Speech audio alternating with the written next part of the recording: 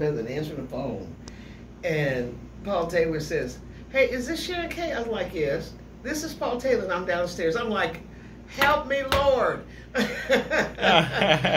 some of you, I fan out too, just like the fans, Paul. I do. How are you? I'm I'm wonderful. How was your flight? Great. I got here, you know, early last night, Did you? and um, I'm in good hands. Got nice, good night of sleep, Good. and I'm already here. It's good to be here the night before. Oh, We're yeah. cross cross country, Oh, most definitely. so um, you didn't have any delays or anything like what we've been hearing about. none whatsoever.